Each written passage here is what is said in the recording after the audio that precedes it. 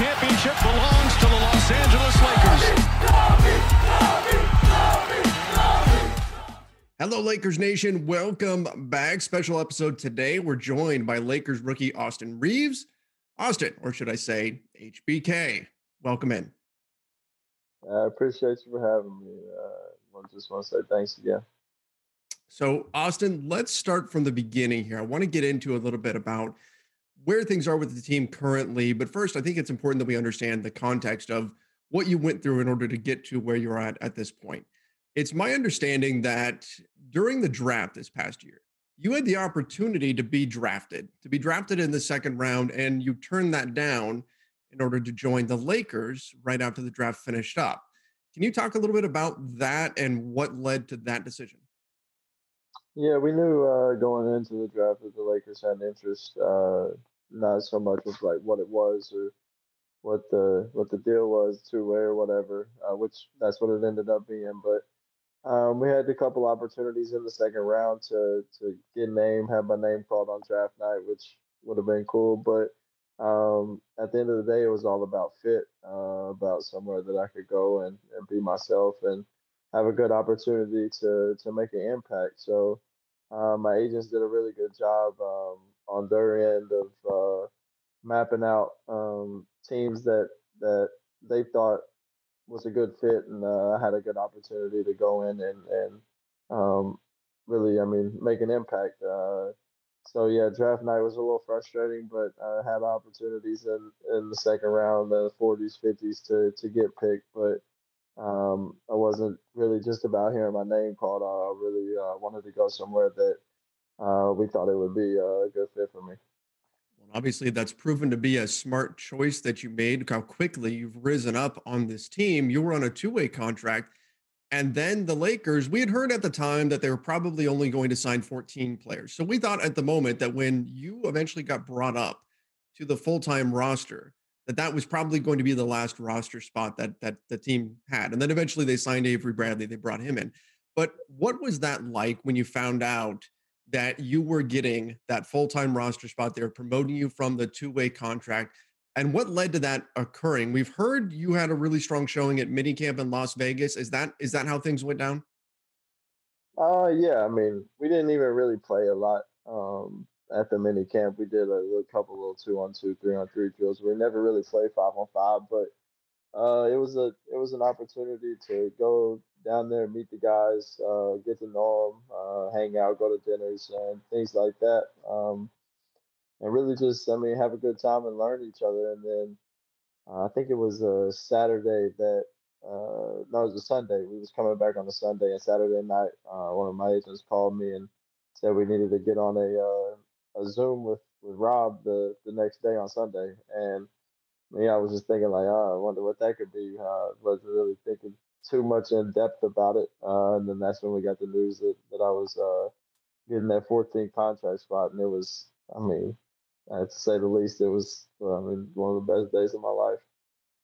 And from there, you very quickly progressed into full rotation minutes with with the Lakers. Um, recently, you dealt with a hamstring injury. How difficult was that to go through? Head coach Frank Vogel made some comments about uh, as you were in the recovery process about if it was up to you, you would already be back out on the floor, but the medical staff was was kind of holding you back a little bit because of how tricky hamstring injuries can be. Um, what was that like like for you once you had all this momentum going? You were developing a big role in the team, and then to get hit by that injury. Oh, it was hard, but I mean, injuries are. I mean, it's sports. Um, injuries happen, and you got to deal with them accordingly, and um, you got to deal with them the right way. Uh, my way was probably not the right way. I wanted to say screw it and just jump back out there and start playing. So the staff did, did a good job of really getting me back to full strength uh, to a point where, where I feel 100% normal again. Um, but I mean, having the momentum going into that, I mean, it it was, I mean, it sucks uh, to say the least, but uh, you know, it is what it is. It's sports, and, and injuries happen. And now here you are, and you had a strong performance against the Oklahoma City Thunder the other night. And afterwards, Frank Vogel had a comment. He said, That's the performance I was looking for from him to have confidence that he's back from his injury and to continue to give him a bigger role.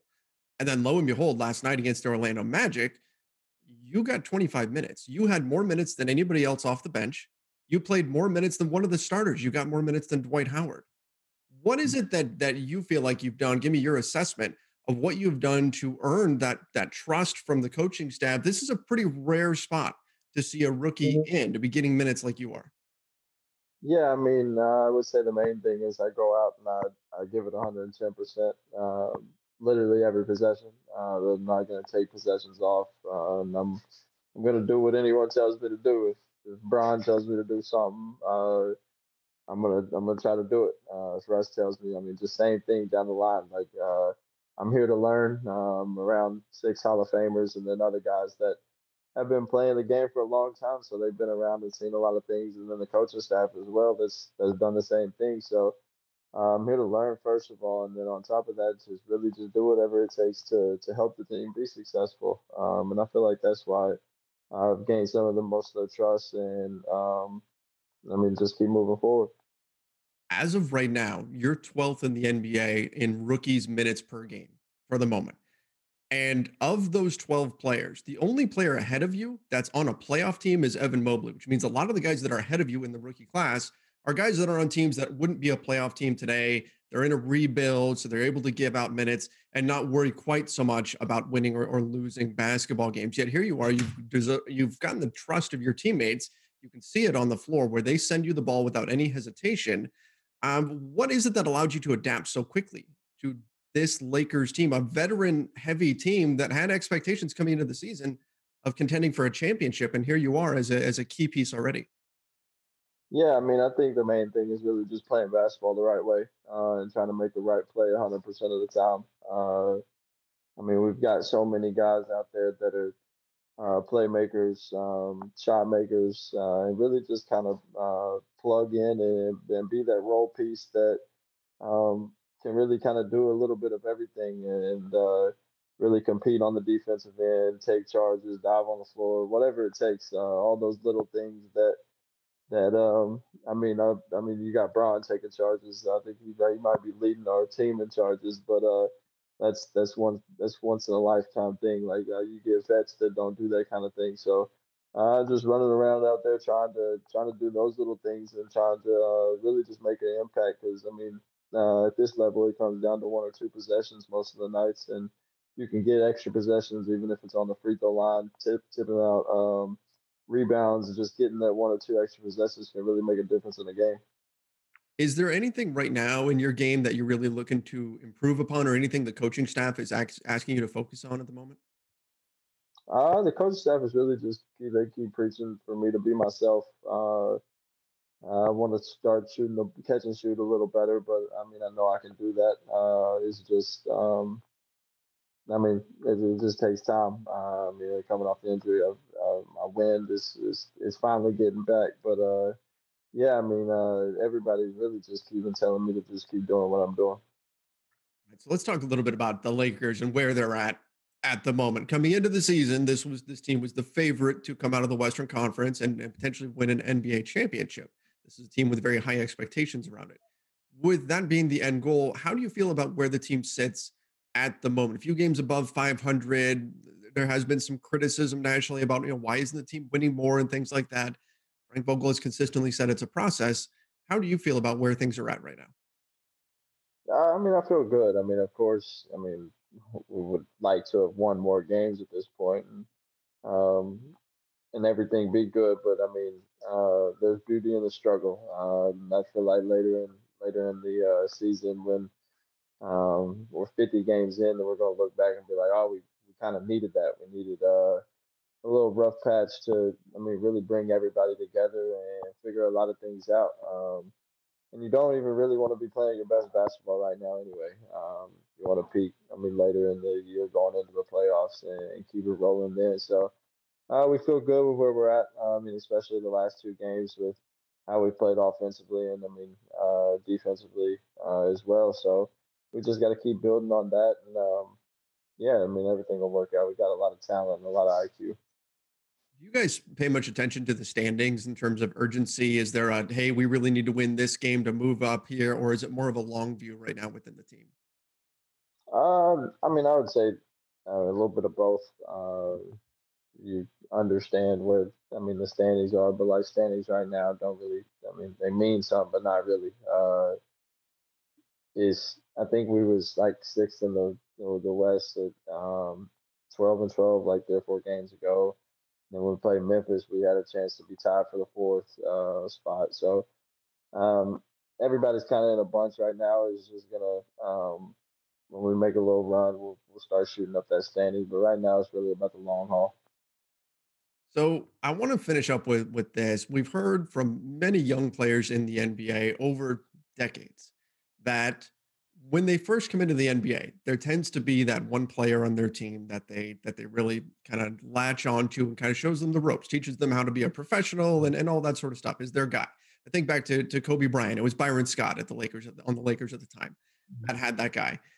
Do you have that guy on this this Lakers team, and what have you learned from the veterans on this squad? Yeah, I mean, I have the luxury of of having uh, ten vets, um, but the one that I really like uh, become close with is is Rondo. Um, constantly asking him questions, picking his brain, um, and really just trying to build a build a good relationship with him. Uh, he's one of the, the best basketball IQ guys that's, that's ever played the game. So um, really just like I said, picking his brain and, and learning from him because uh, he sees the game in such a different aspect than everybody else. Um, he's really really smart in that aspect. So that would be the the one I would say that uh, I talk to the most. But I mean, I have the luxury of I mean, I ask Bron stuff, Melo, everybody. I mean, even Dwight. Uh, I mean, I pick everybody's brain. It's long been a tradition for rookies on a team to have some extra responsibilities, whether it was carrying the veterans' bags to running to picking up donuts before flights. And they, we've heard the stories over the years. Is any of that going on now? Do you have any extra responsibilities as the rookie on the team? Oh yeah, I do it all. Uh, I've, I've picked up donuts. I've uh, I think I got to get cards like playing cards um, for every for every plane trip, every road trip. Um, just all the little stuff uh, like deodorant, uh, body wash, just things like that. Uh, whatever money anybody needs, to be honest. We carry some bags every now and then. Uh, I carry Dwight Howard speaker around. It's actually sitting over there right now. Um, but yeah, I mean, I just do what they tell me to do. I mean, I'm in a, a unique situation uh, with all these guys, so I really, uh, they tell me to do something, I'm not going to complain. I'm going to just do it with a smile on my face. You know what? I have a feeling I know the answer to this question already because you've said a few times here that you you do whatever the team needs you to do, but given the way your minutes have gone, the way your role has gone, it feels like you're not far away from a starting spot at some point. Is that something that's that's important to you at all? No, it's it's not important at all. Um, I mean, it would be cool. Don't get me wrong. I mean, to say that I started the game for the Lakers. If you'd have told me that 15 years ago, I'd have looked at you like you was crazy. But uh, no, nah, I mean, I want I want what's best for the team. If that's me starting, if Malik starting, Talen, whatever. I mean, I, I, really just want what's best for the team. And um, at the end of the day, I just want to win basketball games. I want to win a championship.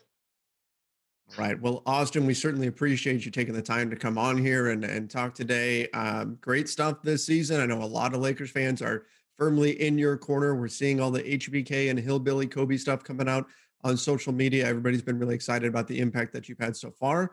So best of luck with the rest of the season, and uh, hopefully the Lakers can continue to uh, to get going here. Yes, sir. Appreciate you for having me. All right. Thanks so much.